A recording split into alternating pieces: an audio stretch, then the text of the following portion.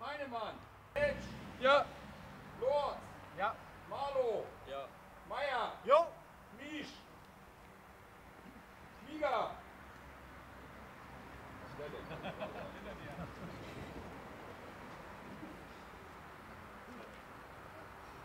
Neumann. Ja. Peters.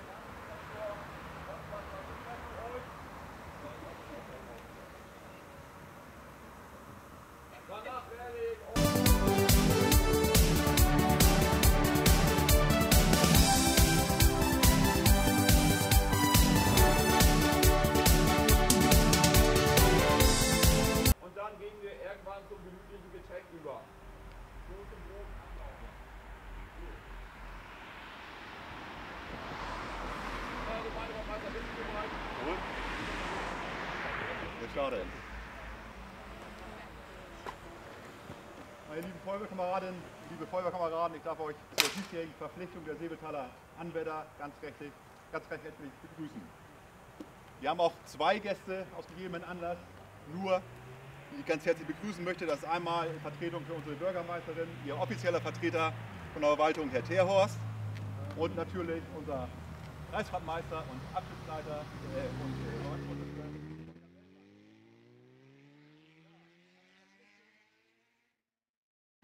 der etwas anderen Art, Corona-bedingt. Kam es dazu? Es war ziemlich schnell klar gewesen, nachdem der Kreisfeuerwehrtag abgesagt werden musste, äh, dass wir uns Gedanken gemacht haben, erst mit den Ortsbahnmeistern, danach mit der Kreisführung, wie können wir euch einen würdigen Rahmen bieten, um diese Verpflichtung äh, durchzuziehen. Die einzige Lösung, die übergeblieben ist, wir können es nur auf Gemeindeebene in kleinen Gruppen natürlich machen und so ist dieser Termin zustande gekommen. Ich bin mit diesem Vorschlag zu meiner Ge- Gemeinde gegangen, zu meiner Bürgermeisterin und zur Verwaltung und bin da auf sehr offene Ohren gestoßen. Und natürlich hat sich die Gemeinde sofort bereit erklärt, auch als Gastgeber zu fungieren. Und äh, dafür, für diese Wertschätzung der Feuerwehr, mal wieder ein recht herzliches Dankeschön, Dirk, dass ihr das so gemacht habt. Ein weiterer Dank natürlich auch an unsere Kreisführung, an Holger, der natürlich auch bereit war, dass wir auch im Säbetal dann durchziehen. Wir hatten natürlich dann eine Verpflichtung, jetzt sind ein paar mehr Verpflichtungen. Aber wir haben uns ja den ganzen Sommer erholt an Terminen. Äh, von daher ist es gar nicht schlimm, wenn wir einen Termin im Herbst ein bisschen mehr haben. Ja, ein weiterer Dank geht natürlich auch an die Feuerwehr Maschen, die sich bereit erklärt hat, uns hier auszurichten. Und da wir schon leider keine großen Gäste und Besucher zulassen durften durch Corona, ähm, haben wir dann beschlossen, dass unsere Presseteams mit Zusammenspiel mit unserer Drohnengruppe aus Rahmenbezug zumindest alles filmen, aufnehmen, dass wir zumindest was vorzeigen können zu Hause. Ich weiß, dass einige traurig sind, dass ihre Familien, Eltern, gerade die, die in der Feuerwehr sind, äh, wären gern dabei gewesen, aber wir mussten halt so reagieren, ist halt dem ganzen Thema geschuldet. Wir können es nicht ändern, aber wir hoffen wirklich so, dass das einigermaßen ein würdiger Rahmen ist und äh, freuen uns trotzdem, dass wir das so machen konnten. Gut, das möchte ich auch schon übergeben an Herrn Theerhorst und ihn bitten um ein Grußwort. Ja, vielen herzlichen Dank, lieber Herr Kreisbrandmeister Bellmann, lieber Gemeindebrandmeister Rainer Wendt, lieber stellvertretender Gemeindebrandmeister Andreas Braul, sehr geehrter Ortsbrandmeister, liebe Feuerwehrkameraden. Ja, seit langer Zeit mal wieder eine Feuerwehrveranstaltung. Ich persönlich habe es vermisst. Ich bin, wie Rainer Wendt schon gesagt hat, mein Name ist Dirk Horst, ich bin der Stellvertreter von Frau Bürgermeisterin Oertzen. Die wäre heute gerne auch selber mit dabei gewesen, aber sie hatte leider einen langfristigen Termin, äh, den sie auch nicht verschieben konnte. Und äh, sie lässt recht herzlich äh, grüßen und wünscht der Veranstaltung einen erfolgreichen Verlauf. Ja, wir haben uns das, glaube ich, alle anders vorgestellt. Rainer Wendt hat schon gesagt, Corona hat vieles verändert, um nicht zu sagen, alles verändert. Jeder von uns muss immer diesen Lappen mit sich führen. Das geht leider nicht anders. Und auch der Kreisfeuerwehrtag in diesem Jahr, bei dem die Verpflichtung schon stattfinden sollte, der musste leider ausfallen aus den bekannten Gründen. Ja, die Entscheidung, das hier auf Gemeindefeuerwehrebene zu machen, ist relativ äh, schnell und zügig gefallen. Bestes Wetter haben wir auch noch dazu, sodass wir das alles draußen machen können, was ja auch immer sehr günstig ist. Ja, und insofern freue ich mich, dass wir jetzt gleich ähm, zur feierlichen Verpflichtung durch unseren Kreisbrandmeister Volker Bellmann kommen können. Die alle haben erfolgreich, ungefähr 40 glaube ich sind es, habe ich mir sagen lassen, äh, erfolgreich den Grundlehrgang oder Truppmann 1 Lehrgang bestanden. Darüber freuen wir uns sehr, denn machen wir uns nicht vor, ohne den Nachwuchs und die Feuerwehr den Weiter verlieren. Und deswegen ist es hier wichtig und auch sehr erfreulich, dass sich viele junge Kameradinnen und Kameraden bereit erklärt haben, jetzt hier bei der Freiwilligen Feuerwehr mitzumachen. So, das soll es schon auch gewesen sein von meiner Seite. Dann geht es jetzt weiter. Sehr gut. Ja, sehr verehrte Gäste, liebe Feuerwehrkameradinnen, liebe Feuerwehrkameraden, ich begrüße euch natürlich auch heute recht herzlich hier zu dieser Verpflichtungsveranstaltung. Ich bin mir sicher, jeder einzelne Feuerwehrkamerad, der in der Vergangenheit mal verpflichtet worden ist, erinnert sich an seine Veranstaltung, wo es gewesen ist und wie es war. Ihr werdet, und ich hoffe, das ist einmalig, dass wir in dieser Form das durchführen müssen.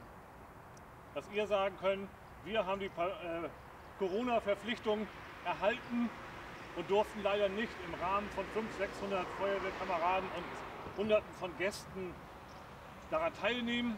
Aber so ist dieses auch etwas ganz Besonderes nur für euch. Und da freut es mich, dass wir heute hier den Rahmen haben, dass er geschaffen worden ist und wir das hier in Seebetal, in meiner Heimatgemeinde, in meiner Heimatfeuerwehr, in meiner Heimatstraße durchführen dürfen.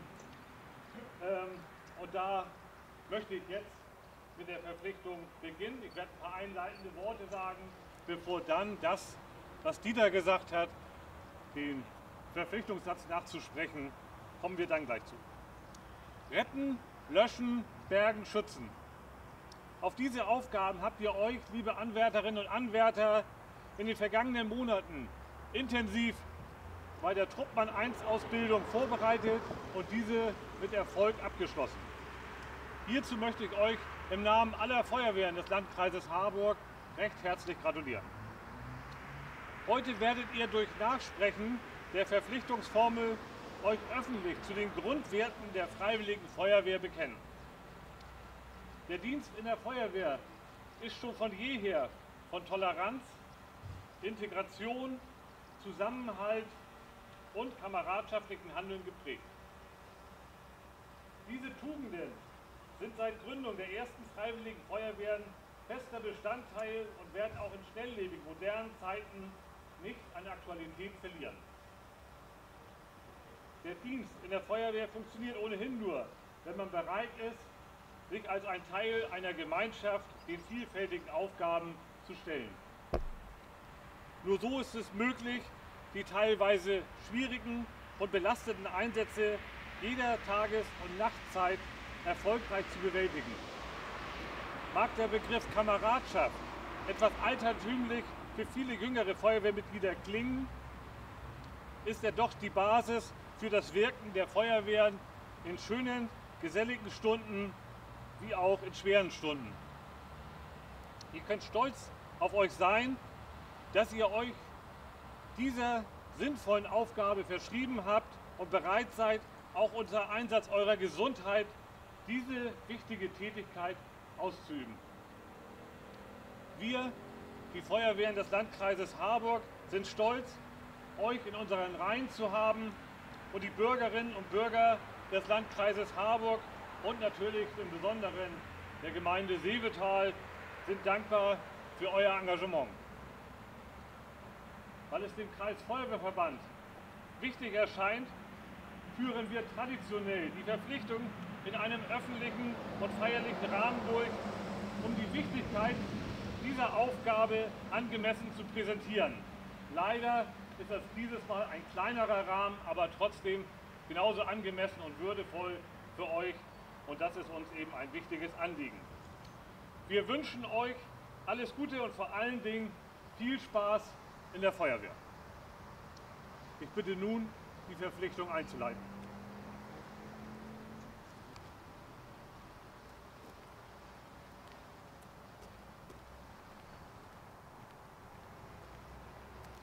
Anwärter. Stillgestanden. Recht euch. Augen gerade aus. Zur Meldung an den Kreisbrandmeister. Augen rechts. Ja, mein Fehler. Augen geradeaus. Abordnung. Vortreten. Gut. Vorne.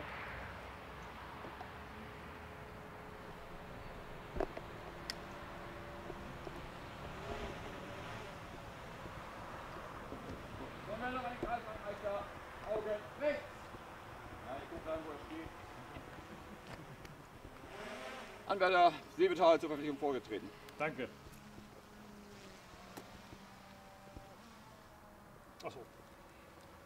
Augen gerade aus! Rührt euch! Ich bitte nun alle Anwärterinnen und Anwärter, mir folgende Erklärung nachzusprechen. Ich verspreche, ich verspreche meine freiwillig übernommenen Pflichten als Mitglied der Freiwilligen Feuerwehr als Mitglied der Freiwilligen Feuerwehr pünktlich und gewissenhaft zu erfüllen. pünktlich und gewissenhaft zu erfüllen, Den Anordnungen meiner Vorgesetzten Folge zu leisten den Anordnungen meiner Vorgesetzten Folge zu leisten und gute Kameradschaft zu halten. Kameradschaft zu halten. Ich stelle fest, dass alle Anwärterinnen und Anwärter sich nunmehr zum Dienst in der Freiwilligen Feuerwehr verpflichtet haben. Hiermit habt ihr begründet, eure Bereitschaft begründet, jedem zu helfen, der in Not geraten ist und die Hilfe der Feuerwehr benötigt. Des Weiteren werdet ihr gewissenhaft euren Dienst versehen und durch Übung und Ausbildung euer Wissen festigen und erweitern. Wir wünschen euch, dass die angenehmen Stunden den unangenehmen überwiegen. Die Feuerwehren des Landkreis Harburg heißen euch in ihrer Gemeinschaft herzlich willkommen.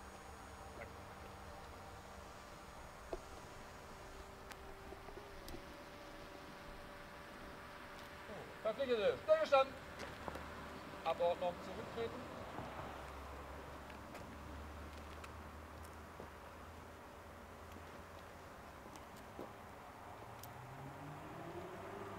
Hört euch.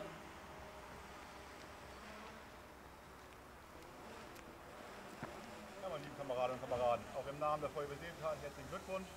Das Wichtigste für euch, die, Ernennung zum Feuerwehrmann bzw. Feuerwehrfrau steht im Wege. Denke, das werden wir dann im nächsten Jahr durchziehen. Noch ein paar Regularien zum Ablauf für den Rest des Abends. Ich darf euch gleich einladen, im Namen der Gemeinde ähm, zu einer kleinen Wurst und einem Getränk. Wir mussten auch da ein wenig reduzieren, aber zumindest einen kleinen Imbiss haben wir vorbereitet, Kameraden Maschen. Das können wir gleich in der Halle an den Stehtischen äh, vornehmen. In der Halle draußen haben wir keinen Mundschutz. Wir achten ein bisschen auf den Abstand. Solltet ihr auf Toilette und die Verkehrswege benutzen, dort bitte einen Mundschutz. Nochmal herzlichen Glückwunsch. Hat mich gefreut und weggetreten.